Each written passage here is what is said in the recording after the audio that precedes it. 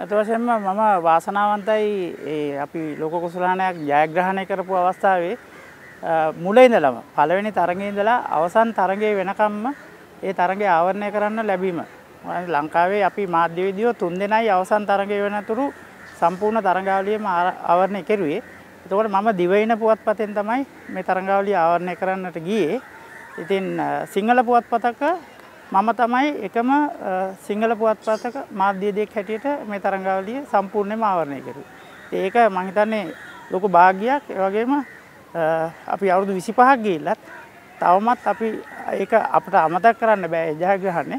ඉතින් අපි බලාපොරොත්තු වෙනවා කවදා හරි අපිට නැවතත් ඒ වගේ ජයග්‍රහණයක් ලබන්න හැකි වෙයි කියලා.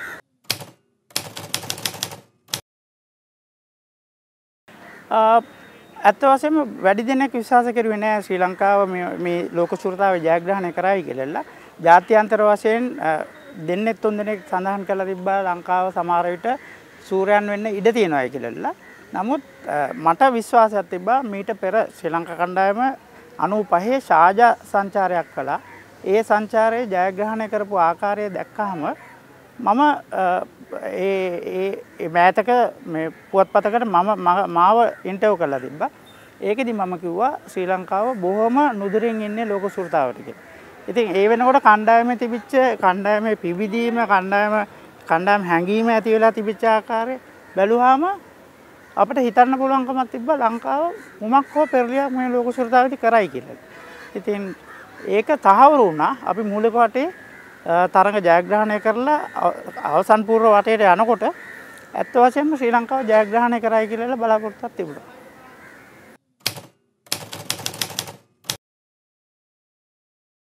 ඇත්තදී එතනදී ආසියාවම එකතු වුණා. එකතු වෙච්ච අවස්ථාව. මොකද මේ තරඟාවලිය පැවැත්වුණේ ආසියාවේ. ඒතකොට ඉන්දියාවත් පාකිස්තානයත් ශ්‍රී ලංකාව වෙනුවෙන් මේ අවස්ථාවේදී ඉදිරිපත් වුණා. ඔවුන් ෆිල්කොම් කණ්ඩායමක් ලංකාවට එව්වා. ඔවුන් සූදානමකින් නෙවෙයි ලංකාවට ආවේ. ඔවුන්ට ඇඳුම් පවා තිබුණේ ලංකාවට ආවට පස්සේ එකම ගුවන් යානේ මේ කණ්ඩායම ඕස්ට්‍රේලියා පාකිස්තානය වුණත් ඉන්දියාව වුණත් ක්‍රීඩකයෝ ආවේ. ඉතින් ඔවුන් පුදුම සහයෝගයක් දුන්නා ශ්‍රී ලංකාවේ ඇවිල්ලා තරඟ කරන්නට බැරි කමක් නැහැ මේ අවස්ථාවේ කියන එක ලෝකෙට පෙන්වන්න. ඉතින් ඒ තරඟේ ඇත්ත වශයෙන්ම ඇස්සරවන්නක් වුණාමලු ලෝකෙටම ශ්‍රී ලංකාවේ තරඟාවලියකට එන්න කිසිම බය වෙන දෙයක් නැහැ කියලා. නමුත් ඕස්ට්‍රේලියාවත් බටහිර ඉන්දිය කොදිය කණ්ඩායමත් පැමිණිය ප්‍රතික්ෂේප කළා. නමුත් කෙන්යානු කණ්ඩායමත් සිම්බාබ්වේ කණ්ඩායමත් ශ්‍රී ලංකාවට පැමිණලා ඕන් තරඟ කළා. ඉතින් ලංකාවට මේ නිතරංග ජයග්‍රහණ දෙකත් එක්ක ලැබිච්ච ප්‍රසාද ලකුණු හතර එක්ක කණ්ඩායමේ අපේ ගෲප් එකේ පළවෙනි ස්ථානයෙන් අවසන් අර්ධ අවසන් පූර්ව තරඟයට යන්න පුළුවන්කමක් ශ්‍රී ලංකාවට ලැබුණා.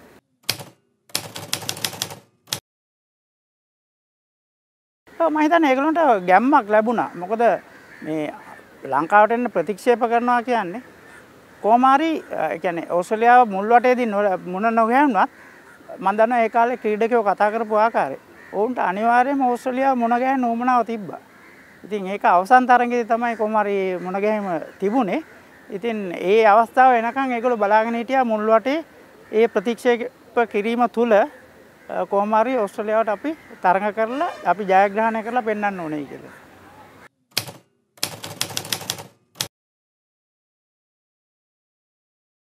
ඕ විශේෂයෙන්ම ඒ ඒ ඔය තරඟාවලිය සෑහෙන්න කණ්ඩායමට එහාට මෙහාට යන්න තිබුණා. මොකද මුල් වටේ තරඟෙදී ඉන්දියාවට ගිහිල්ලා අපි ආයේ ලංකාවට ඇවිල්ලා කෙන්යාවත් එක්ක තරඟ කරලා ආයේ අපිට යන්න සිද්ධ වුණා අර්ධවසන් පූර්ව තරඟයට පාකිස්තානයට. ඉතින් පාකිස්තානයේදී එංගලන්තය සමග තමයි අපි තරඟයට මුහුණ දුන්නේ.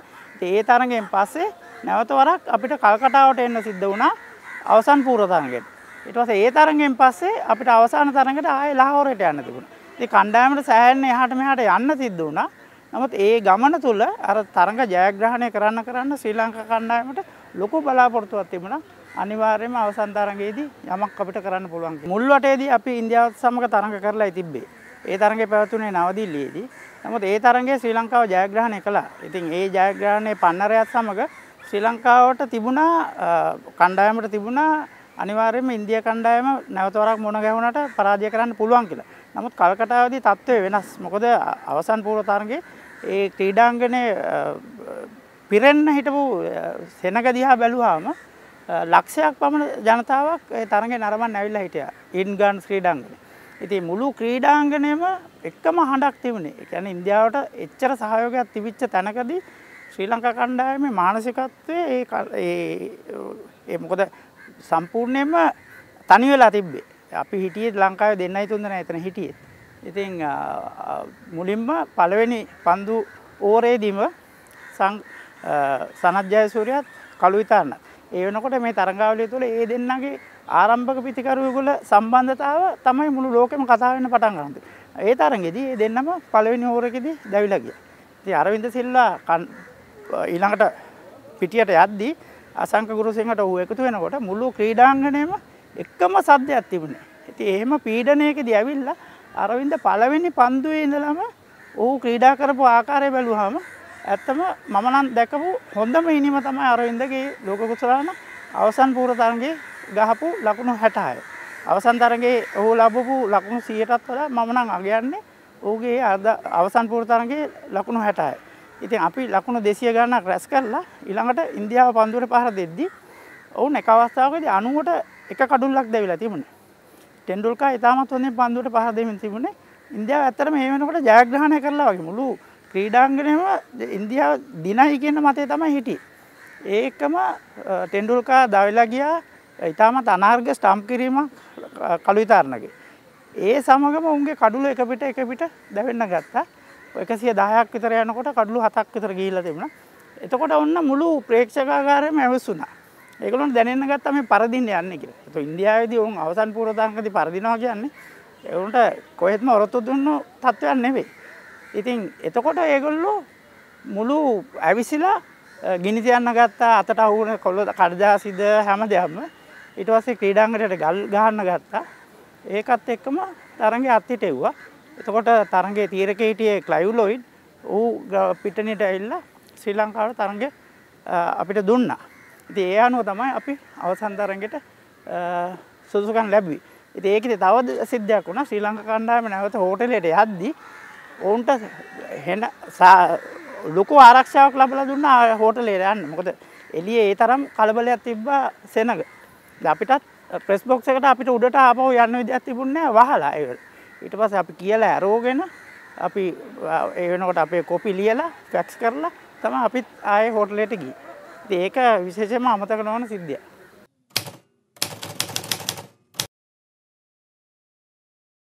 ඇතවශයෙන්ම අපි අපිට ප්‍රශ්නයක් ඇති වුණා කල්කටා ඉඳලා ලාහෝරෝල්ට යන්න දවස් දෙකයි තිබුණේ. ඉතින් ගුවන් යාන ආසන වෙන් කර ගැනීම ගැටලුවක් තිබ්බා. ඉතින් අපි හිර වෙලා හිටිය අවසාන මොහොතේ තමයි අපිට ගුවන් යානයක් ලැබුණේ මේ ලාහෝරෝල්ට යන්න තරඟයේ දවසේ උදේ තමයි අපි ලාහෝරෝල්ට ආවේ. මයි අනිත් සහෝදර මාධ්‍යවේදියෝ දෙන්නයි.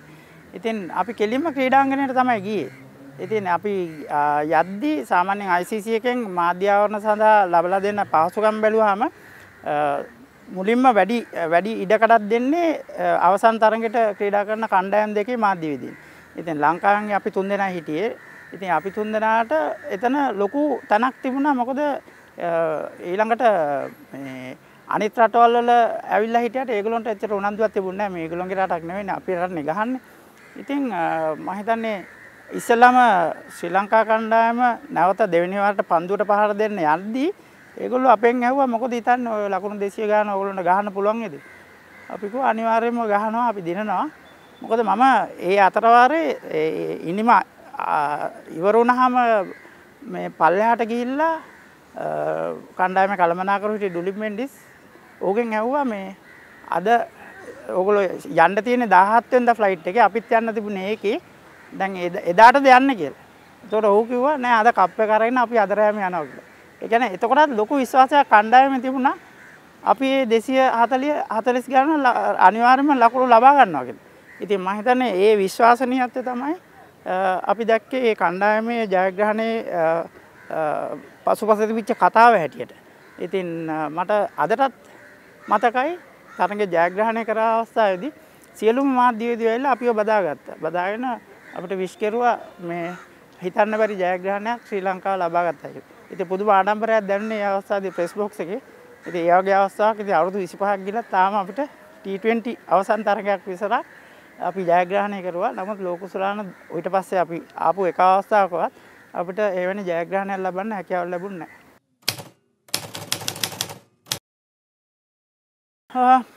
ඒ මතක කියන්නේ තරගෙන් තරඟට යද්දි ඒ කියන්නේ අපිට යද්දි අද වගේ පහසුකම් නැහැ. නමුත් ඉතින් අපි කොහොමාරි අපිම තමයි හදාගෙන ගුවන් යානාවල් වෙන් කරගෙන තරඟවලට ගියේ. ඉතින් ඉන්න තැන් හදාගන්න ඒ සියල්ල එක්ක ඒ තරඟාවලිය කියන්නේ අපි අපි ජයග්‍රහණය කරනවා. ඉතින් අද අද අපි දකිනවා අපි අපේ ශ්‍රී ලංකා කණ්ඩායමේ තරඟයක් බලද්දි මේක දිනනවද නැද්ද කියලා විශ්වාසයක් නැහැ. නමුත් ඒ කාලේ ඒ තරඟාවලිය තුලදී තරගය ජයග්‍රහණය කරනවා කියන එක අපේ හිතෙත් තිබුණා. ඉතින් ඒකත් එක්ක හරිම හරිම උද්‍යෝගයක් තිබුණේ තරඟ වලට යන්න. ඉතින් ඒ ඒ අවස්ථාව මම හිතන්නේ අමතක නොවන සිද්ධියක් හැටියට කියන්න පුළුවන්. ඒ වගේම ශ්‍රී ලංකා කණ්ඩායමත් එක්ක ගිය ගමන තුලදී කණ්ඩායමේ විශ්වාසනීයත්වය පිළිබඳ මම එක සිද්ධියක් කියන්නම්. අවසන් තරඟෙට ඉස්සල දවසේ ෆිල්කොම් මේ තරඟාවලිය සංවිධානය කරපු අනුග්‍රාහකයෝ ලෑස්ති කළා තිබුණා කණ්ඩායම් දෙකටම රාත්‍රී භෝජන සංග්‍රහය. ඒ රාත්‍රී භෝජන සංග්‍රහයේදී ඒ වර්ල්ඩ් කප් එක ප්‍රදර්ශනය කළා තිබ්බා. ඉතින් අපි දැක්ක ඕස්ට්‍රේලියානු කණ්ඩායමේ ක්‍රීඩකයෝ ඒ කාලේ මොබයිල් ෆෝන් එකේම ස්මාර්ට් ෆෝන් තිබුණේ නැහැ. පොඩි ඩිජිටල් කැමරා තියාගෙන ඒගොල්ලෝ කප් එකත් එක්ක පින්තූර ගන්නවා. එතකොට ඕගනයිසර් කෙනෙක් ඇවිල්ලා අර්ජුනගෙන් ඇහුවා why don't you go and take photographs කියලා. ඒ කියන්නේ ඔබලා ඇයි ඔබලත් ගිහලා ගන්න නැත්තේ කියලා. අර්ජුන කිව්වා අපිට දැන් ගන්න හදිසියක් නැහැ. අපි මැච් එක ඉවරලා කප් එකත් එක්කම අපි ගන්නම් පින්තූර කියලා. ඒ කියන්නේ එතකොටත් එතන ප්‍රදර්ශනය කරුවේ විශ්වාසනීයත්. අපේ ක්‍රීඩකයෝ එක්කෙනෙක්වත් හෙල්ලුනේ නැහැ අඩු ගන්න ෆොටෝ එකක් ගන්න කියලා. ඉතින් ඕස්ට්‍රේලියානු කන්නම පුදුමලා හිටියේ ඇයි මේ මිනිස්සු යන්නේ නැත්තේ කියලා. ඉතින් ඒ ඒ තමයි මම දැක්කෝ එක එක සිද්ධියක් අමතක නොවෙන. ඔව් දැන් අපි කල්කටාවේ හිටියා තරගෙට කලින් දවසේ. මොකද එන්න අවස්ථාවක් නැතුව ආසන නැතුව. එතකොට දැන් පහුවෙන්ද තරගය ගැන පත්තරයට අපි ලියන්න ඕනේ මැච් එකේ ප්‍රිවිව් එකක්. ඒ කියන්නේ අද මොකද්ද වෙන්නේ කියලා. ඉතින් ඒක දැනගන්න විදියක් නැහැ. මොකද අපි ලාහෝරේ හිටියා නම් අර්ජුන මොන ගෑවිලා ඒක ගන්න තිබ්බා. පස්සේ දැන් අපි තුන්දෙනා මොකද්ද මේ කරන්න කියලා කතා කරගෙන ඉන්නකොට මට නිකන් මතක් වෙලා මේගොල්ලෝ ඉන්න හෝටලේ හොයලා බැලුවා මේ එතකොට දැනගත්තා මේ හෝටලේ ලාහෝර වල ඉන්නේ කියලා. ඒකට ඒ හෝටලේට අපි කෝල් එකක් ගත්තා. කෝල් එකක් අරගෙන මම හොඳ වෙලාවට අර්ජුන රූම් එකේ හිටියා. අර්ජුන රූම් එකට දැම්මහම අර්ජුනෙන් මං ඇහුවා මේ අපිට එන්න විදියක් නැහැ හිර වෙලා ඉන්නේ. හෙට හැබැයි මැච් එකට කොහොම හරි එනවා. අපිට හෙට ලියන්න කතාවක් ඕනේ. මොකද කියන්නේ හෙට මැච් එක ගැන කිව්වාම එයා එයාගේ පැත්ත කිව්වා. ඒතකොට ඒක අපි ටක් ගාලා ලියලා දැන් අපිට දැනගන්න ඕන කොහොම තිබුණා දැන් අනිත් පැත්තක් දාන්න එපයි මාක් ටේලර් මොනවද කියන්නේ ඔස්ට්‍රේලියාවේ කැප්ටන්. එතකොට දැන් අර්ජුනගේ අපි ඇහුවා මේ මාක් මොනවද එයා කියන්නේ කියලා. ආද පත්තරේ මොකද්ද කියලා තිබුණා කිව්වා. මොනවද තියෙන්නේ කියලා කියවන්නේ කිව්වා. එතකොට පත්තරේ බලලා අර්ජුන කිව්වා මෙන්න මේ මේම කියලා තියෙනවා. අපි ඒකත් අරගෙන ඒ දෙකම එකතු කරලා එහෙ ඉඳලා ෆැක්ස් කරුවා. ඒක තමයි පහුවෙන්දා පත්තරේ ගියේ අපි ලාහෝර වල ඉඳලා කියනවා වගේ තමයි ලිව්වේ. නමුත් ඉතින් ඒකත් කියන්නේ අහම්බෙන් වෙච්ච දෙයක්. කොමරි අර්ජුන වෙලා අල්ලගත්ත හින්දා තමයි අපිට එයාගේ ගන්න පුළුවන්කම තිබුණේ මොකද්ද කියන්නේ කියලා. එතකොට අර්ජුන කියපු තව දෙයක් තමයි අපි ඇහුවා දැන් කාසිය වාසිය ගැන කියනව නේද සෑහෙන්න මොකද ඔය ලාහෝර් ක්‍රීඩාංගණයේ කාසිය වාසිය දිනපු කණ්ඩායම බොහෝ දුරට ඉස්සෙල්ලා පන්දුවට පාර දෙනවා කියලා කතාවක් තිබුණා. ඒ ක්‍රීඩාංගණයේ බාරකරුත් කියලා තිබුණා එහෙම. ඒතර අවා කොහොමද? එතකොට අර්ජුන කිව්වා අපි ගිහිල්ලා බැලුවා. අපි කොහොමද තනතිරුව තත්ත්වේ රැට කියලා බැලුවාම ඒකේ රෑ පිට්ටනිය තිබිච්ච පින්න ගැනත් බලලා අපි කොහොමටත් අපි ඉස්සෙල්ලා බැට් කරන්නේ නැහැ කියලා කිව්වා. ඉතින් ඒ වගේම තමයි කවුරුත් හිතපු නැති විදිහට කාසියවාසිය දෙන්නලා අර්ජුන පස්සේ බැට් කරුවේ. නමුත් ඒක කවුරුත් හිතන්නේ නැති විදිහට අන්තිමේදී ජයග්‍රහණය කෙරුවා. ඉතින් ඒ වගේ සිද්ධි එහෙම අර්ජුන ඒ වෙලේදී කිව්වා. ඒ වගේ තමයි අවසන් තරඟයේ ජයග්‍රහණය කරුවාට පස්සේ අද වගේ මේ ප්‍රෙස් කන්ෆරන්ස් එහෙම මේ අර කියන්නේ පිළිවෙලකට තියෙන ගතියක් තිබුණේ නැහැ. කප් එක අරගෙන ඉඳද්දි මාධ්‍යවේදී ඔක්කොම වට වෙනවා. වට වෙලා පිට්ටනියම තමයි ඉන්ටර්විව් කරන්නේ. දැන් ඉන්ටර්විව් කරනකොට දැන් හැමෝම ඉංග්‍රීසියෙන් අහන්නේ අනිත් මාධ්‍යවේදී අර්ජුනගෙන් මොකද මේ ජයග්‍රහණය ගැන කියන්නේ කියලා. ඒතකොට මට ඕනකම තිබුණා දැන් සිංහලෙන් අර්ජුනගෙන් දෙයක් දැනගන්න මොකද ඒ වචනේ එහෙම්මම ගන්න මට. ඒකට මම සිංහලෙන් අර්ජුනගෙන් ඇහුවා අර්ජුන මේ මට සිංහලෙන් කියන්න මොකද්ද මේ දිනපු එක ගැන කියන්න කියලා. ඔර අර්ජුන hina වෙලා මට කිව්වා ඔබ දන්නවනේ මට වඩා ඕක ගැන කියන්න ඕන එකක් ලියා ගන්න කියලා. ඊට පස්සේ මම අර්ජුන කියනවා වගේ තමයි ඊට පස්සේ ලිව්වේ මේ ජයග්‍රහණය කොහොමද අපි දකින්න අර්ජුන දකින්න කියලා. ඉතින් ඒකත් විශේෂ සිද්ධියක්. මම හිතන්නේ මාධ්‍යවේදියෝ සාමාන්‍ය මාධ්‍ය කුටියේ ඉන්නකොට ගොඩක් වෙලාවට ඒගොල්ලෝ අර බයස් නෑ කියලා පෙන්වනවා. අපි අපි අපේ රටට වුණත් අපි එහෙම පෙන්වන්නේ නැහැ. මේ කියන්නේ මාධ්‍යවේදියෝ හැටියට අපි නමුත් ලකුණ ලබා ගනිද්දී මට නැගිටලා පුටුවෙන් කෑ ගැහුණ එකපාරට. ඒ කෑ ගැහිච්ච ගමන්ම තමයි අනිත් අය ඇවිල්ලා අපි බදාගත්තේ. ඉතින් අපි හොඳටම දැක්ක එකක් තමයි අරවින්ද ලකුණු 100ක් ලබාගෙන තිබුණේ. අරවින්ද ජයග්‍රාහී ලකුණ ලබා ගන්න අර්ජුනට අවස්ථාවක් දුන්නා. ඌටත් ලබා ගන්න තිබුණා ජයග්‍රාහී ලකුණ. නමුත් ඔහු නායකත්වයේ හැටියට අර්ජුනට ඒ අවස්ථාව ලබා දුන්නා. ඒ අර්ජුනගේ ලකුණු හතරක් රැස් කළා ජයග්‍රහණය ලකුණු ලබා ගත්තා. ඉතින් ඒක තමයි ඒ කියන්නේ ක්‍රීඩකෙක් තව ක්‍රීඩකයෙකුට ගෞරවයක් දක්වන විදිහක් ඒ. ඒ කියන්නේ මේ ක්‍රීඩකයන්ට ඒ කාලේ එක්කෙනෙකුට එක්කෙනෙක් කියන්නේ Tamanට වඩා තව එක්කෙනෙක් කැපිලා පේනවා කියන හැඟීමකින් නෙවෙයි ක්‍රීඩකෙකු. කණ්ඩායමක් හැටියට හැමතිස්සෙම හැමෝටම හැමතිස්සෙම උදව් කරුවා. ඒතර ඔය ලෝක කුසලාන් තරංගවලදී තවත් හැංගිච්ච චරිතයක් තමයි අසංක ගුරුසිංහ. අසංක ගුරුසිංහ නොම්බර 3 ස්ථානයේ ගිහිල්ලා ඔහු හැම තරගයේදීම ස්ථාවරව කණ්ඩායම ලකුණු පූර්ව ඉස්සරහට අරන් ගියා. ඉතින් ඔහුත් ඒ කණ්ඩායමේ අන්සං හීරෝ කෙනෙක් හැටියට තමයි හඳුන්වන්න පුළුවන්. මොකද සරත් ජයසූරිය තරඟාවලියේ කැපිලා පේන ක්‍රීඩකයා බවට පත් වුණා. ඔහු උගේ අර මේ ප්‍රවේගවත් පිටිහරමින්ද. ඒ වගේම අරවින්ද ඔහු වැඩිම ලකුණු සංඛ්‍යාව රැස් කළා මුළු තරඟාවලියේම. ඒතකොට තරඟාවලියේ වීරයා හැටියට හරිනම් අරවින්දවත් කැපිලා පේන්න තිබුණා. නමුත් කණ්ඩායම අරමුණ සමහර තරඟවලදී රොෂාන් මහනාම ශ්‍රී ලංකාව වෙනුවෙන් අවසාන මැද පෙළ කණ්ඩායම ඇදගෙන ගියා. ඒ කියන්නේ අපේ මුල් පෙළ පිතිකරුව ඔක්කොම මුළු තරඟාවලිය තුලම ඔවුන්ගේ දායකත්වය පුළුවන් හැම අවස්ථාවෙම කණ්ඩායම වෙනුවෙන් ලබලා දුන්නා. ඒ වගේම තමයි පන්දු යැවීමේ. අපි දැක්ක අරවින්ද ඒ වගේම සනත් ජයසූරිය ඔහු උන් දෙන්න පිතිකරණයෙන් විතරක් නෙවෙයි. පන්දු යැවීමෙනුත් කණ්ඩායමට ලොකු දායකත්වයක් ලබලා දුන්නා. ඇත්ත වශයෙන්ම අපිටත් තේරුණේ අවසන් තරඟයේදී මේ ලංකාවේ තරඟයක් ගහනවා. ඒ කියන්නේ මුළු මුළු ප්‍රේක්ෂකාගාරයම ශ්‍රී ලංකාවට තමයි සහයෝගය දැක්කේ. මොකද පාකිස්තානුවන්ට ඕන වුණකම තිබුණේ ශ්‍රී ලංකාව මේ තරඟේ ජයග්‍රහණය කරනවා දකින්න. උන්ට ඕස්ට්‍රේලියාව ජයග්‍රහණයක් කිසිසේත්ම උන් අපේක්ෂා කළේ නැහැ. උන්ට ඕන වුණේ ලංකාව දිනන්න. ඒ වගේම ලංකාව දිනුවාට පස්සේ එකම පිස්සුවක් බවට පත් වුණා ක්‍රීඩාංගනේ. ඔවුන් ක්‍රීඩා පිටියට පැනලා අන්තිමේදී අර්ජුනගේ කප් එකත් අර්ජුන කප් එක පිටින් වැටිලා ඒ දුන්නු චෙක් එකක් නැති කරගෙන ඒ තත්ත්වයක් එතන මේ පාලනය කරන්න බැරි තත්ත්වයක්ත් ඇති වුණා. ඒ වගේම ක්‍රීඩාංගණයෙන් පිට අපිට වෙඩි සද්ද ඇහුණා. ඒ වෙඩි සද්ද කියන්නේ සාමාන්‍යයෙන් එහි මේ ගොඩක් මේ මේ ෂොප්ස් වල මේ ඉන්න මේ මුරකාරයෝ ගාව තුවක්කු තියෙනවා. ඔවුන් තුවක්කු වලින් උඩට වෙඩි තිබ්බා. ඉතින් ඒ තරමට ඒ ජයග්‍රහණය පාකිස්තානුවන් සැලකුවේ ඔවුන්ගේ ජයග්‍රහණයක් ඇටියට. ඉතින් ඒක ලංකාවේ ක්‍රීඩකයන්ටත් මානසිකත්වයටත් හොඳ දෙයක් වුණා. හරියට වුන් ලංකාවේ ක්‍රීඩා කරනවා වගේ තමයි ගාන හැම ලකුණකටම මුළු ක්‍රීඩාංගණයෙම වුන්ට ලැබෙන සහයෝගය ඔක්කොම ඇත්තටම ලංකාවට ජයග්‍රහණය ලැබලා දුන්නා මුල ඉඳලා. මම හිතන්නේ 96 ලෝක ශූරතාව තමයි ශ්‍රී ලංකාවේ ක්‍රිකට් සම්පූර්ණයෙන්ම යූටර්න් එකක් ඇති කළේ. ඒ කියන්නේ ඒ ක්‍රීඩකයෝ ඒ වෙනකොට මේ වෘත්තිමය ක්‍රීඩකයෝ නෙවෙයි. ඔවුන් සියලු දෙනාම යම්කිසි ජොබ් එකක් කරනවා රස්සාවක් කරන ගමන් තමයි ක්‍රීඩා කළේ. නමුත් එයින් පස්සේ ශ්‍රී ලංකාවට ලැබිච්ච ඒ පිළිගැනීම සහ මුදල් ලැබීම සියල්ල මත ශ්‍රී ලංකාවේ ක්‍රිකට් ක්‍රීඩකයෝ වෘත්තීයමය තත්වයකට පත් වුණා. අදටත් ක්‍රිකට් ක්‍රීඩකයන්ට අන්තර් ක්‍රීඩා සමාජ මට්ටමින් පවා විශාල ගෙවීමක් කරන්නේ ඒ ලෝක සූරතාවෙන් ලැබිච්ච ශ්‍රී ලංකාව තුළ පිළිගැනීම.